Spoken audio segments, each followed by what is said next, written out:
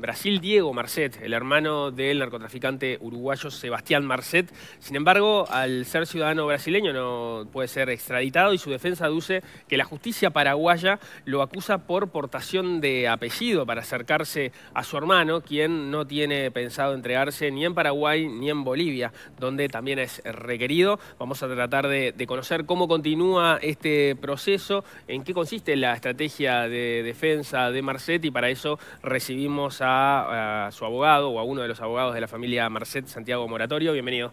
¿Cómo le va? ¿Cómo le va? Muchas gracias por, la invitación. Bienvenido. Gracias por, estar aquí. Eh, capaz que conviene comenzar, bueno, haciendo una puesta a punto de, en qué está eh, la situación, eh, digamos, procesal de la, de la familia Marcet a la luz de las últimas novedades que hayan surgido.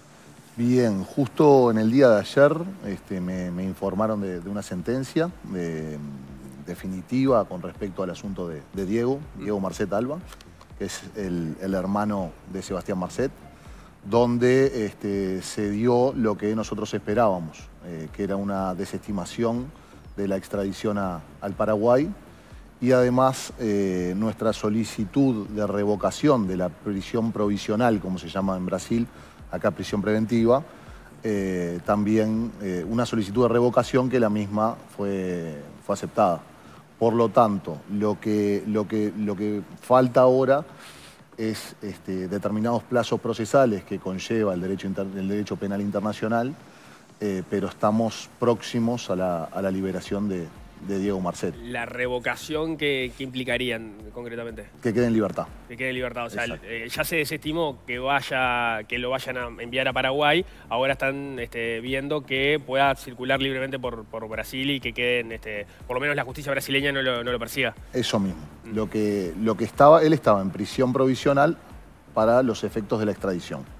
Este, si bien la, alarma pública y, todo lo que llega de Paraguay y de Bolivia era que, había sido un, duro golpe al clan Marcet, este, y bueno, nosotros eh, fue lo que dijimos en su momento, de que no solo no, había un hecho imputable este, que se le pueda imputar, valga la redundancia, a, Diego, sino que además no iba a ser posible la extradición, porque por el artículo 5 literal I de la Constitución brasileña lo, prohíbe. Eso, no, es que lo prohíbe, pero no extradita, Brasil no extradita a sus, a sus connacionales. O sea que ahí está, la, la, novedad no es mayor, era lo que ustedes esperaban que, ocurriera porque por, por tener este, ciudadanía brasileña justamente no lo iban a poder extraditar. Exacto. Lo que ocurrió fueron que pasaron 40 días más o menos desde, desde que fue detenido en Foz de Iguazú, Diego, y bueno, nosotros esperábamos esto, es lo que, lo que nosotros salimos a decir públicamente y que también el propio Sebastián dijo en la oportunidad cuando él se manifestó en los medios este, a fines del año pasado. Es decir, ¿lo habían calculado eso de que lo capturaran en Brasil porque no tiene tradición con otros países? Exacto, él estaba en Brasil para, eh, para entregarse, para hacer su entrega el, procedimiento en el cual él termina entregándose fue, imagino, una negociación con las autoridades brasileñas. No llegó a darse, porque cuando estaban en proceso de, comienzo de las negociaciones es que le llega la información a, la policía brasileña y, y, lo detienen. Le hacen un allanamiento y lo detienen. Él no llegó a entregarse, digo tienen antes, en, plenas inicio de negociación. Y, judicialmente el proceso que se recorrió para llegar a esta este, sentencia definitiva de, la que mencionaba, este, que se dio en el día de ayer, eh, no, tiene que ver con una especie de acuerdo abreviado, este, como este, pensando en términos de, acá, sino que fue, digamos, la, propia este, dilucidación de los efectos de que no se puede, Brasil no extradita a sus, a sus ciudadanos. Exactamente, las dos cosas. No solo que Brasil no extradita a sus, a sus connacionales, sino que además no hay, no hay una imputación seria y no hay un hecho delictivo que lo vincule al hermano, a Diego, este, con ninguna actividad relacionada al narcotráfico ni, ningún, ni ningún hecho delictivo. Eso, es lo que sostienen ustedes, pero la justicia brasileña llegó a, entrar en eso, que sería el mm. fondo del asunto. Claro, no llegó a entrar, pero que, que acepten la revocación de la prisión provisional es, es todo un, logro o, eh, dice mucho de lo, que, de lo que nosotros entendemos que es, como bien lo mencionabas al principio, una, una imputación por portación de apellido. Lo que nosotros entendemos es que se está haciendo justicia con la familia Marcet, que la operación a ultranza de Paraguay, la operación a ultranza PI, este, en relación principalmente a Sebastián Marcet y a su familia, lo que, lo que hace o lo que, lo que fomenta es una especie de chantaje. Ahora, ahora podemos entrar en, ese proceso, pero para ir cerrando y entendiendo el capítulo este, de, su hermano, ¿la revocación no es un procedimiento que automáticamente se dispara a, partir de que la, cae la extradición? No, existía la posibilidad de que él continúe en prisión provisional para que Brasil siga investigando. Por lo eh, tanto, es algo Pero ahora Brasil sigue investigando a pesar de eh, haberlo dejado en libertad. Exacto. Eh, no, todavía no, está en libertad. Todavía no. Bueno, cuando pero que eran, Claro, que era nuestra, nuestra pretensión, y la pretensión, por supuesto, de, los colegas que están trabajando en Brasil, de, que se, de que no se le aplique la medida cautelar más gravosa, que es la prisión, preventiva. claro. Este, y cuando no hay elementos, no hay evidencia para, para, para que ello, para, para llegar a eso. Este, en el análisis de los riesgos que hay que, realizar para ver si, se aplica o no la medida cautelar más gravosa, no hay, no, hay tales riesgos. Eh, se hablaba de chantaje de la parte de la justicia paraguaya, ya no solo en torno a la situación del hermano, sino a la situación también del propio eh, Sebastián Marceta. ¿A qué aluden con eso? ¿Dónde está el eh, chantaje? El tema con esa operación eh, es que eh, fueron, fueron muchísimas cosas. Ahora, la semana pasada, un nuevo imputado en esa operación ultranza. Pero en sí, esa operación empezó con, un fiscal, Lorenzo Lescano, de, Paraguay, que fue quien comenzó las investigaciones y que en su momento no había, este, no había imputado a Sebastián por falta de evidencia. Eh, y luego de eso fue eh, juzgado en lo que en Paraguay se llama la, GEM, que es el Jurado de Enjuiciamiento de Magistrados, y ese procedimiento administrativo paraguayo dio como resultado que no, no se le aplicó ninguna sanción a ese, a ese fiscal y fue como quien dice sobreseído. Este, igualmente por, por no encontrar elementos que impliquen que ese fiscal había procedido este, de, manera que no, que no, correspondía o que, había mm, realizado imputaciones sin fundamento. Eh, pero no solo que, fue sobreseído, sino que además luego lo cambiaron. Y luego pasaron cuatro o cinco fiscales por esa, por esa operación. Incluyendo uno que fue asesinado por los narcotraficantes. No pasó, nunca pasó por esa, por esa operación el fiscal Pechi. Era el fiscal de tráfico de drogas. Por supuesto, pero no de la operación Ultranza. Era un fiscal de crimen organizado. De crimen organizado. No, no, no estuvo, no participó en la operación Ultranzapi, el fiscal Pechi. Pero lo mataron los narcotraficantes. Eso parece. Eh, pero entonces, ¿cuál es la, tesis que ponen arriba de la mesa? ¿Que Sebastián Marcet no es un narcotraficante? No, no, no. Eso no, no lo estoy diciendo. Que en, en la operación donde se lo se le busca imputar como el máximo responsable, no solo de un, de un homicidio, este, que, que, además tiene detenidos y, en prisión a los autores materiales. Y hay, el homicidio de Pechi también. Exacto, el homicidio de fiscal Pechi, que tiene líneas de investigación con autores, con sus autores intelectuales, que ninguna lleva a, a Marcet. Eh, no solo eso, sino que además eh, en la operación a ultranza no hay elementos contundentes contra él y mucho menos contra su familia, que en una, en una imputación, como, como dije en otros medios, de, más de mil fojas, le dedican una carilla a, la esposa, al hermano y al cuñado. Pero en el caso, de, en el caso concretamente de Sebastián Marcet, eh, es claro que él es un narcotraficante, él mismo lo ha asumido, en la entrevista con Santo Iseña lo hablaba como, como algo, digamos, parte de su vida.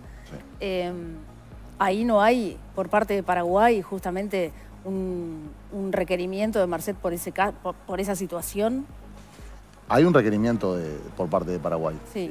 Este, el tema que estamos, nosotros para eso es nuestro, nuestra función, somos los, los abogados defensores y tiene que, eh, tiene que haber elementos de convicción suficientes, en mi plena prueba, prueba, evidencia, que lo, que lo impliquen. ¿Y no hay todo eso? ¿No existe? Para la familia, absolutamente no. Para él, concretamente. y para él, este, en principio sería, sería ah, tendríamos que ir a más, más profundamente a la imputación pero, pero podría haber alguna evidencia, no es el caso de la familia, pero que nada lleva a indicarlo como, como el autor intelectual de, absolutamente toda la operación. ¿Sabe que me asombra lo que me dice? Porque me sorprendió, obviamente no conozco la realidad paraguaya al dedillo, ¿no? Pero BBC, de los medios más prestigiosos del mundo, tres casos de alto perfil que dirigía el fiscal paraguayo Marcelo Pecci. Número uno, a ultranza. Mm. Diario La Nación de Paraguay, el fiscal Pecci, el operativo ultranza lo dirigía, según el diario La Nación de Paraguay, el fiscal Pecci. A Marcelo Pecci fue uno de los fiscales embarcados en el operativo antinarco a ultranza. Claro, claro. Eso... parece que usted sabe más que la BBC o que el, que el diario La Nación de Paraguay, en fin, me resulta asombroso, digamos. No, no, no. Yo lo que hablo es con los colegas paraguayos y le puedo traer la imputación y no surge, no surge en ningún momento. Toda la prensa del mundo dice que el, fiscal Marcelo Pecci estaba en el operativo Ultranza. Y también toda la prensa le adjudica a Sebastián. No, eso lo dijo el diario El Tiempo de Bogotá. Sí, sí. Fue replicado por varios. Sí, sí, pero son cosas distintas. el, Tiempo de Bogotá dijo que este, que Sebastián Marcet estaba implicado en el asesinato de Marcelo Pecci. Hasta el presidente Hasta ahora la justicia colombiana no se hizo eco de lo que dijo el diario El Tiempo de Bogotá pero que el fiscal Pecci estaba eh, eh, dirigiendo la operación Ultranza lo dice toda la prensa de todo el mundo. No surge del expediente ni de surge a ustedes, parece que a todo el resto... no, no surge, exacto. Sí, sí, claro, yo hablo por lo que nos surge a nosotros. ¿Y, por cuánto, y, cómo, cómo, es la estrategia? ¿no? ¿Cuánto tiempo más va a estar Marcet eh, en algún lugar del mundo que no se sabe exactamente cuál es? Lo que, lo, que, lo que pretendemos es que se haga justicia con la familia que se le bajen las alertas rojas de Interpol y que se investigue en, caso de haber evidencia en su contra, tanto para la esposa como para el hermano como, y, para el cuñado. Eso es principalmente el enfoque que tenemos ahora, fue motivo de las reuniones con la fiscal de, de macrotráfico acá en Uruguay, este, ahora, vamos, vamos a eso, pero em, del expediente de la justicia paraguaya, por ejemplo, se señala que hemos constatado que, hablando del hermano de, de, Marcet, que posee un documento de identidad paraguayo con numeración, ta, ta, ta, ta, ta, con el cual ha registrado varios movimientos migratorios en nuestro país. En este punto queremos resaltar un detalle observado en sus registros migratorios, donde consta que durante el año 2021 ha mantenido flujo de ingreso y salida desde y hacia la República de Bolivia, incluso en el mes de mayo del año 2021, ingreso a nuestro país a bordo de un avión privado. La hipótesis investigativa indica que el investigado, Diego Nicolás Marcetalba, se habría radicado en la República de Bolivia durante el último año actuando en carácter de nexo con miembros de la organización criminal que coordinan las operaciones ilícitas desde ese país. Eso más allá de, la discusión a propósito del auto que Marcet dice que le regaló a, su hermano, que también figura, figura en el expediente. O sea, ya son en todo caso dos elementos. El hecho de las entradas y salidas desde Bolivia a Paraguay. Este, digamos que no tendrían que tener nada que ver con el giro este, o con la, actividad de, Marcet como narcotraficante, aparte del auto. Claro, son esas dos cosas. A, a Diego Marcet se lo, se lo pretende imputar sin ninguna evidencia como el nexo con una organización, una supuesta organización en Bolivia. Pero sí eh, parecería que están constatadas las entradas y salidas frecuentes de Paraguay hacia, hacia Bolivia, eh, más allá de la sospecha además de que ese documento también era falso. ¿no? Claro, eso y en el proceso actual que se está dando en Foz de Iguazú, se requirió la autenticidad de, esa nacionalidad, del certificado de nacimiento que, se que presentó la defensa eh, brasileña en este caso, y este, los resultados fueron que, era, eh, era, el documento era, original. Era original. Exacto. Y además que no perdió la nacionalidad brasileña, que de acuerdo al artículo 12, creo que era de la Constitución brasileña, hay determinados este, aristas que pueden hacerte perder la nacionalidad y eso no se dio. Por eso también fue que, este, fue que se dio en todo este plazo de 40 días de prisión provisoria. Ahí, hay, un punto en, cuanto a la estrategia que ustedes vienen llevando adelante que a mí no me, no me queda claro, pero quizás lo, he explicado en alguna de las notas que ha dado, y es cuál, iba a ser el mecanismo que, parece caído, por el cual estaban buscando eh, algún tipo de acuerdo con la justicia de nuestro país en relación a la familia de Marcet en la medida que ellos no estaban este, requeridos por la justicia local, están requeridos en, Paraguay, ¿cómo, ¿cómo, hubiese sido el procedimiento de esa negociación para arribar a una solución que a ustedes los conformara y que finalmente no se dio? Eh, que Uruguay no extradite una vez que se entreguen acá en Uruguay, tanto la, esposa como su cuñado, eh, que Uruguay no los extradite y que se, rija por un tratado anterior al vigente eh, que le da la facultad al Uruguay de juzgar a sus nacionales. Pero eso no sería ilegal. Mm, Es, es- es un aspecto interpretativo de la norma. Por supuesto que si se aplica... Te acaba de decir que hay un tratado anterior al vigente, quiere decir que la medida que están, digamos, eso este, Claro, por, por que tema de, de, de- el de- tratado de del los tiempos Mercosur- queda, queda derogado, ¿no? El Tratado del Mercosur del 99 no es que derogue absolutamente todo para atrás. ¿sí? Eh, Pero si refieren a lo mismo, queda derogado. eh, bueno, nosotros lo que intentamos es que se le dé una, interprete- una interpretación que, este, que sea favorable para, para la familia. Una interpretación que es contraria a primer año de derecho. No, no sería contraria. Brasil, en este caso, que también firmó el Tratado del 99 de- del Mercosur, aplica uno de 1924 anterior, para, y bueno, y, lo- y lo, lo viene aplicando este, consuetudinariamente. Esa posibilidad se cayó. Eh, por el momento se cayó, pero no, nosotros estamos dispuestos a seguir las conversaciones y verla eventu- eventualmente si, si se puede llegar a algo. Entendemos que en Paraguay no están dadas las garantías para, para el juzgamiento de la familia de, de Sebastián Marcelo. Ahora, si, si se lograra por este acuerdo, que sinceramente desde este lugar parece un poco raro este, aplicar algo que ya, que ya no funciona, pero pongámosle que se, que se logra este acuerdo, la familia llega, se entrega. ¿Cuál es el siguiente paso? ¿Qué es lo que haría Marcet? ¿Dónde se entregaría? Si es No. que se entregaría. No, se traería un juicio, ¿no? No, no, es que no- no- en ningún momento se habló de la entrega de Sebastián Marcel. No, en algún momento Estamos se habló de la entrega de Sebastián Marcet. De mi parte, de nuestra parte, no. De la entrega de él, no. Estamos hablando siempre de su familia. Sí. ¿Y él? ¿Cuál sería el movimiento? ¿Es seguir perdido en el mundo? No tengo conocimiento de los pasos a seguir de él. Me llama la atención que una de las peticiones sea que Interpol quite las alertas rojas cuando estamos hablando de un- una persona que está prófugo, que se vincula al crimen organizado, que eh, está en duda si cometió o no ciertos delitos, para lo cual hay que hacer un juicio. Y esta persona evita presentarse ante la justicia para hacer un juicio. ¿Por qué debería sacarse la, la alerta roja con todos estos elementos que configuran que la alerta roja debe existir? ¿En qué- ¿De qué persona te referís? Disculpa. A Marcet, al mismo Marcet. Ah, no, es que nosotros no estamos pidiendo que se quite la... en Pero recién en- en- dijiste- no, para la familia. Ah, ok. Eso, yo quizás no me expliqué bien, te pido disculpas. No, no sé. Este, es para la familia lo que nosotros entendemos que hay. Eh, no, no es la manera, y, y si está- estamos hablando de un Estado de Derecho donde se respeten las normas, no es la manera de perseguir el, crimen organizado o a alguien que, se busca a través de eh, chantaje con su familia y las alertas rojas sin, sin una imputación fundada ni, ni- con, ni con evidencia. Porque en los tres casos hay, hay falta de evidencia y hay una imputación este, irrisoria en, en- en una operación de las, de las más importantes de la historia de Paraguay. Lo que pasa es que ya- ah, llama la atención que se hable de garantías. Obviamente las garantías se tienen que respetar, pero que desde el lado del crimen organizado se pida el respeto o se diga, por ejemplo, que la justicia de Paraguay no les da garantías. Digo, es un Estado democrático, reconocido en, en todos los ámbitos de, de- de la OEA, de las Naciones Unidas, es una democracia. ¿En base a qué a usted no le da garantías el Paraguay?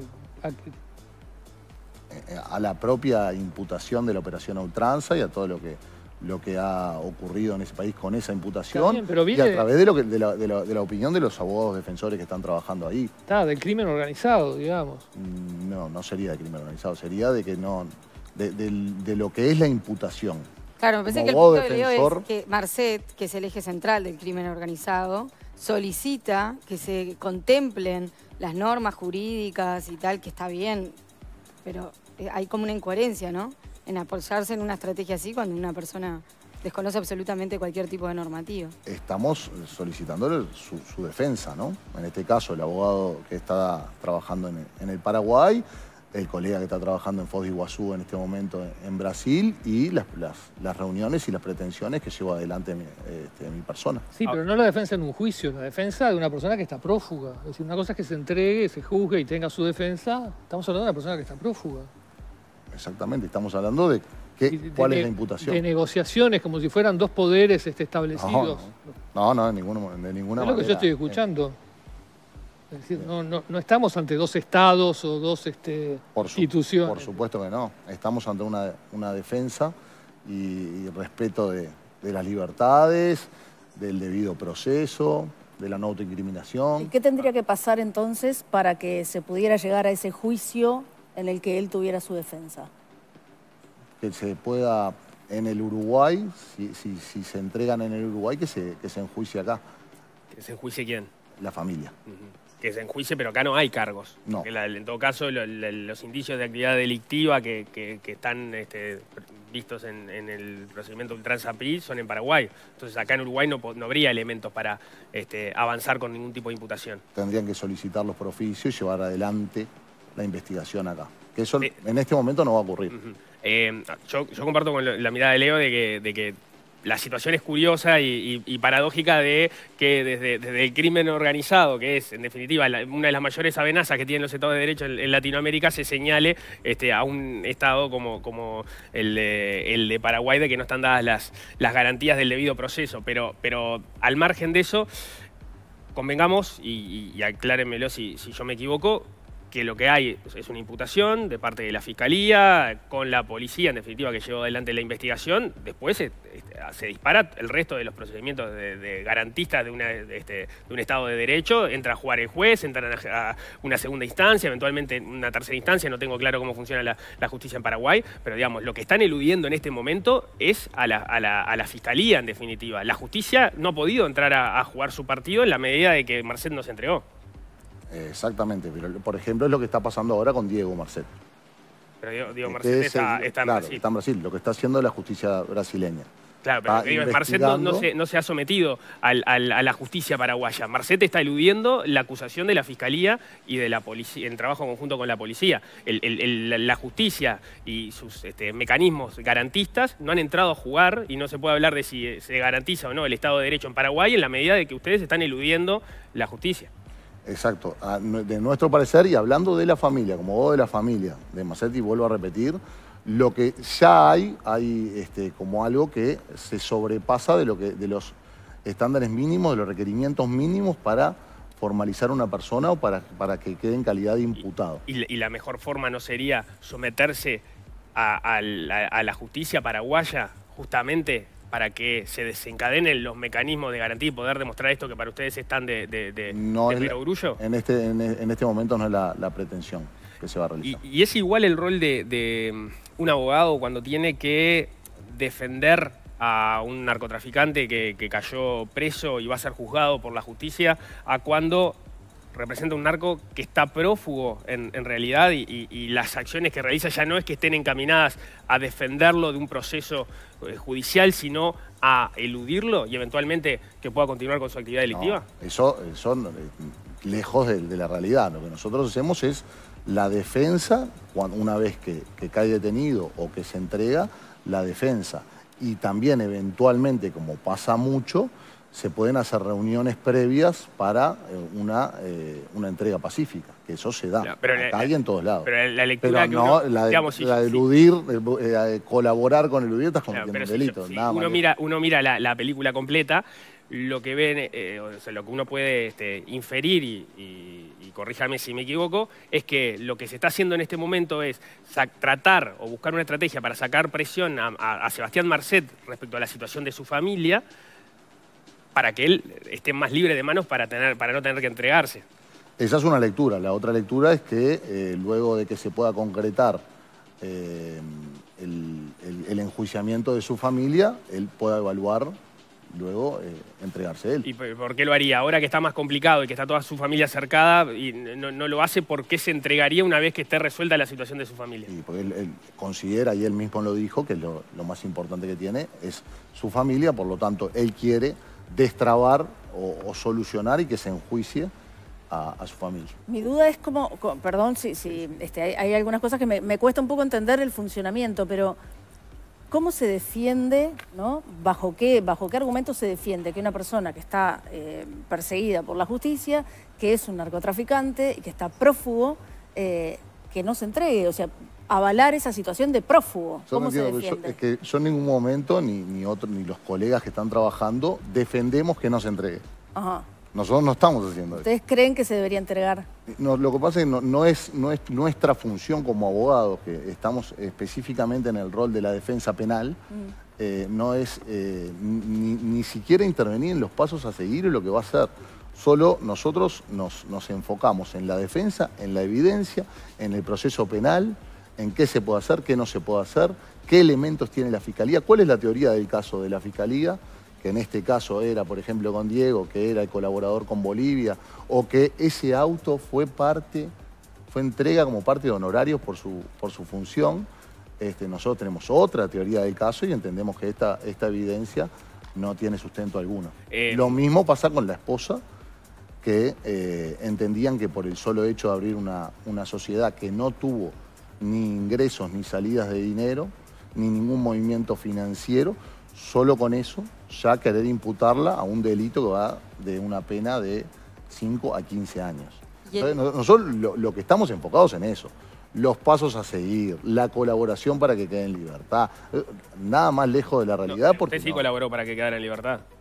Cuando, digamos, el, usted participó, ahí, ahí hay un elemento interesante que no ha sido tan, tan discutido. Cuando, cuando explotó el caso del, del pasaporte, cuando Marcet queda detenido en, en Dubái, rápidamente el foco se puso en las gestiones realizadas por, por Alejandro Balbi para obtenerlo. Sin embargo, lo que libera Marcet no es el pasaporte, sino la, la- la nota que La nota. usted gestiona y envía este, Cancillería en la que se explicita que Marcet está en condiciones de tramitar el, el pasaporte uruguayo. Usted hizo esa gestión. De hecho, hay en las investigaciones que se han hecho han surgido este, comunicaciones entre usted y, y- y la cónsul Fiorella Prado en la que se Exacto. en la que ella le, le- le explicita de hecho que no necesariamente la nota en la cual se dice que Marcet está en condiciones de tramitar el pasaporte va a implicar a la postre que se le termine dando el pasaporte y usted le dice que no, que lo que necesita en este momento es la nota y es la nota la que lo termina liberando. O sea, usted sí este, fue parte, fue el abogado de Marcet. eh, digamos, Marcet tiene varios abogados. eh, Alejandro Balbi en Fiscalía cuando habla caso este, dice que no sabía que por otro lado usted estaba este, actuando en el caso. No sé si usted sabía que Balbi estaba actuando también No, por otro lado. Este, es, in- es interesante eso. Eh, pero bueno, usted es quien, quien termina tomando las acciones que llevan a la liberación de Marcet en, este, en Medio Eh, Oriente. exacto, o sea, eh, yo cumplí con mi función de abogado al este, específicamente conseguir los antecedentes judiciales, homologarlos eh, en, el, en el Ministerio de Relaciones Exteriores y luego una vez que estaba eso en camino, solicitarle a la cónsul esa nota para brindársela al abogado defensor de, de Emiratos Árabes. ¿Desde cuándo este, trabaja con Marcet? Y, mm, dos o tres años atrás. O sea, eh, eh, mucho antes o, o con el episodio de... No, no. Antes este, tengo ciertas vinculaciones, digo, en, en- en temas de, de defensas penales. Mm, Respecto a él o respecto a gente de su entorno. No, es que Marcel desde el 2018 que no, no está en Uruguay. Yo nunca ejercí como abogado defensor de Marcet, salvo en esa, en esa circunstancia que acabas de mencionar. Mm. Pero al- algunas personas este, vinculadas con él, que yo defendí, sí. Ahí está, el, el vínculo llega a través de personas acá en Uruguay que usted defendió, Ah, eh, que estaban vinculadas a, no sé cómo se, se autodenominan ellos, el clan Marcet. Defensas penales vinculadas a él, sí. ¿Y qué, qué resolución tuvieron esas, esas defensas? Fueron, fueron varias y en diferentes o- eh, operaciones. Muchas- mí- algunas de ellas, perdón, Sí, algunas de ellas quedaron en libertad, otros este, están cumpliendo condena, otros ya lo cumplieron. Y, y en la medida que estamos reconociendo que esas personas estaban vinculadas a, a Marcet, ninguna de, de- de esos trabajos llevó a una persecución penal acá en Uruguay del propio Marcet. No, bueno, no, no hay evidencia que lo, que lo vincule, no, no hay evidencia. Más allá de, de estos contactos que estamos explicitando acá, de que efectivamente el, eh, usted llega a Marcet, este, ¿por qué estaba defendiendo a gente? por defensas penales de, con gente con vinculaciones a él. Yo quería saber si existieron de, de tu parte algún tipo de reflexión, ya sea a nivel técnico o hasta deontológico, a la hora de aceptarse a la defensa de un narcotraficante prófugo y de su familia. Si eso tiene algún peso o se piensa sobre eso. Y a la hora de que nosotros ejercemos nuestro rol como abogados defensores, este, no, no, no- no cabría eh, el por qué no defenderlo. Nosotros este, Bueno. estudiamos, hicimos una carrera. Hay gente que toma nos- el caso y gente que no toma. Por Usted supuesto. entonces, por supuesto. la reflexión la tienen, digamos. Algunos van para un lado, otros para el otro. Sí, sí, aunque cuál, cuál sería O sea, un lado hubo o un momento otro. en El de el tránsito de todo este no proceso de, de frenar y decir, estoy defendiendo a uno de los narcotraficantes más pesados por, por lo pronto de la región. est- est- estoy haciendo eh, un trabajo profesional para lo que estudié, me preparé, eh, me sigo formando, considero que, que soy idóneo y por algo este, es, una relación de, confianza entre quien está en juego su libertad y su abogado defensor. Es un, análisis de, un proceso en el cual tiene que haber, tenemos que estar nosotros, somos un freno para, la, técnica y para las fría de la situación, pero hay elementos bien calientes acá, ¿no? Sí, sí, como, como todos los, los que ejercemos de defensas penales en toda la, gama de delitos que puedan existir.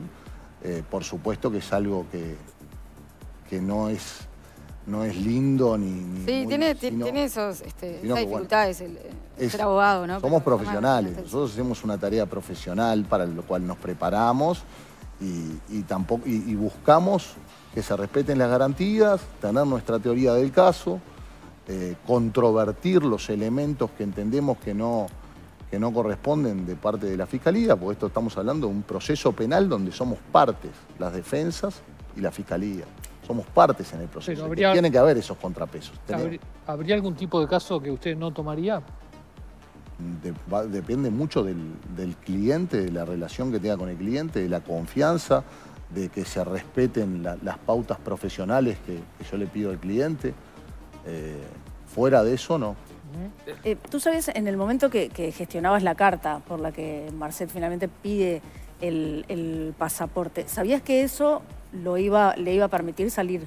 No, no, no, tengo, no es imposible eh, tener la bola de cristal en ese momento. Pero no era un procedimiento que, o sea, justamente para eso lo pidió. Eso era algo que el abogado de Emiratos Árabes ¿Mm? entendía que si lo presentaba en el juzgado iba a colaborar para que se produzca la liberación. Sí, digamos. que además, en todo, un, todo momento, era algo que le correspondía. Por la lectura que yo este, pude hacer de la, de la conversación que habías mantenido con, con Fiorella Prado, vos entendías que, eso era, era la clave, de la, carta, no, no, no, necesariamente el pasaporte. La, carta era lo que iba este, a ser clave para la liberación. Yo tenía claro que, esa, pero esa nota, sin lo que, lo que previamente, la documentación previa que yo le envié, no, no la podía hacer Fiorella no la podía hacer. Entonces yo, una vez que respaldo mi solicitud con documentos, es que le, pido que haga la nota. Me, vuelvo a un punto anterior, este, porque me, queda ahí como la duda. Yo te preguntaba si, era lo mismo defender a, cualquier cliente, este, en este caso, un narcotraficante, cuando está siendo sometido a la justicia que cuando la está eludiendo. Y, y vuelvo al mismo punto. ¿En base a qué entendés vos como, como, abogado y bueno, y en tu contacto con, tus colegas este, paraguayos, que no están dadas las garantías en, Paraguay en la medida que el proceso no está este, iniciado porque no están eh, las personas que se están eh, imputando. O sea, la observación entiendo que ustedes la tienen sobre la fiscalía y no sobre, sobre la justicia. ¿En base a qué vos desconfías del sistema judicial paraguayo en su conjunto cuando todavía no empezó a, jugar este partido. Claro, el tema es, eh, primero que como bien decís, no se puede litigar en rebeldía, que es cuando la persona no está. Segundo, que perfectamente eso se puede dar si en algún momento lo detienen, o a él o a, algún integrante de su familia, como pasó con Diego, eh, van a va a solicitar enseguida Paraguay la extradición, como fue lo que ocurrió, y va a alegar además que ese documento es falso, que la nacionalidad brasileña este, ya la tenía perdida, todo lo que alegó Paraguay, que eh, en, este momento... Diego, ¿no? Claro, que en este momento todo, todo eso cayó y, se dio lo que nosotros pensábamos que se iba a dar, este, pero va a ser, eso es eh, en su momento, cuando eso ocurra y haya alguien, ya sea el mismo Sebastián o alguien de su familia en Paraguay, es que se van a presentar todas las pruebas que nosotros entendemos que hay y, tengo conocimiento, pruebas contundentes de corrupción y de, varios aspectos donde no se van a respetar las garantías, en este caso contra el, propio Sebastián Marcet, que van a ser presentadas en su momento y que no me corresponde ni, estratégicamente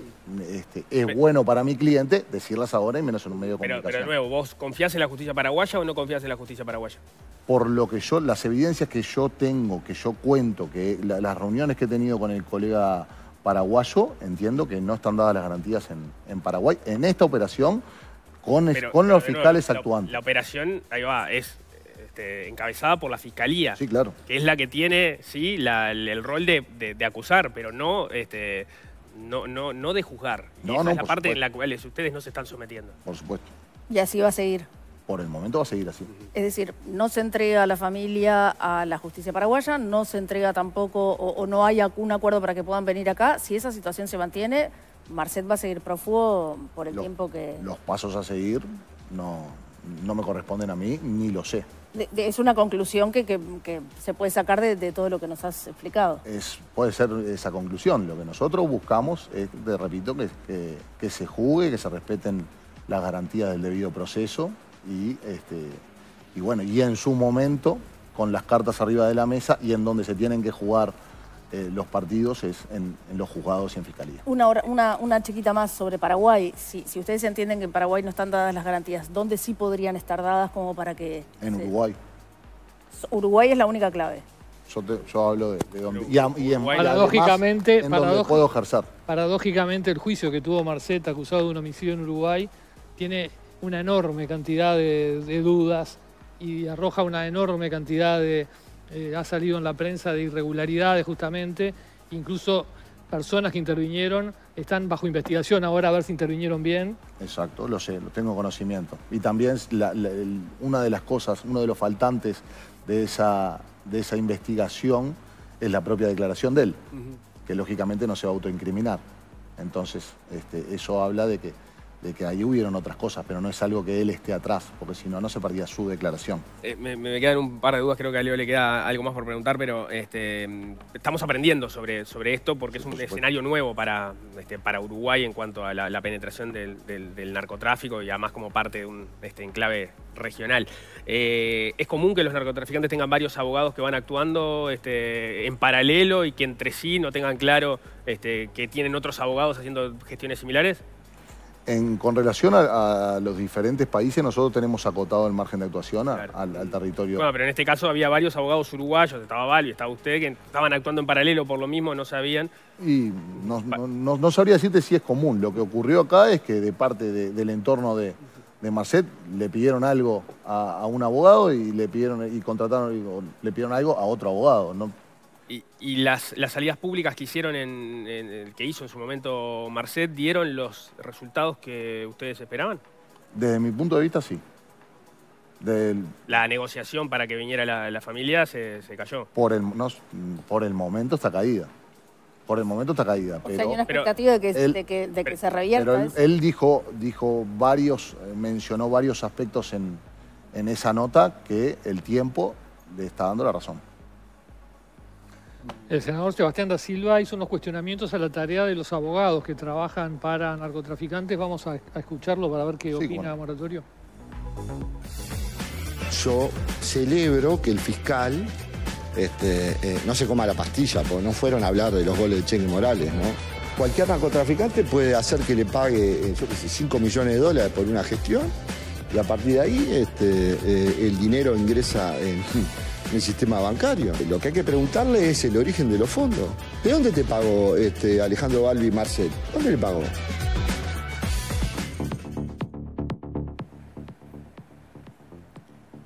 Menciona a, Balbi, pero bueno, también entiendo que, le, cabe lo, lo, que dice Da Silva a propósito de esa discusión de cómo cómo se dan este, las remuneraciones a los abogados de narcotraficantes cuando están este, claramente en una situación este, como la que está Marcet, prófugo de, la justicia. ¿Cómo, funciona eso profesionalmente? Habría que eh, recordarle al legislador la, ley 19.574, la ley integral del lavado de activos este, donde en su artículo 12 establece cuáles son los sujetos obligados del sector financiero, en su artículo 13 los sujetos obligados no financieros y dentro de ese, de ese artículo no nos encontramos los abogados.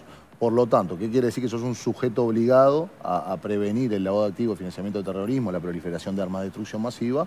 Este, una vez que vos te encontrás dentro de eso, sos sujeto obligado, tenés que la obligación de solicitar el origen de fondos, hacer una debida diligencia, categorizar a tus clientes. Este, nosotros no estamos dentro de eso. Pero, a su vez eh, no, hay, no hay elementos eh, que, conlleven a que en, una institución financiera o algo no, pueda, pueda venir a, a decirnos algo. Si los, si los tiene, tendría que ser el banco o la institución financiera a la que hace referencia que haga el reporte de operación sospechosa que corresponde. Porque son operaciones este, bancarias, entonces, las que se hacen para pagar los honorarios. Pueden ser operaciones bancarias o no, Pero tú te hiciste esa pregunta de dónde sale la plata con la que te paga Marcet. pero es ma- con Marcet o con todos los clientes que, que ten- que defendemos lo que hacemos. particularmente con Marcet porque lo- conocemos a qué se dedica. y el- no, no me corresponde. No me corresponde ni, ni con clientes relacionados al narcotráfico, ni con clientes eh, que cometen delitos contra la persona física, contra la propiedad. Eh, no, estoy, no estamos normativamente dentro Sí, eso quedó del- claro. de, de los sujetos obligados y, eh, y estamos este, cobrando honorarios por nuestra tarea profesional. La última me van a matar porque tenemos que cerrar. ¿Cuál, cuál sería el incentivo de la justicia uruguaya para hacer esta interpretación este, de que un tratado anterior en el del, Mercosur tiene más vigencia que un tratado posterior?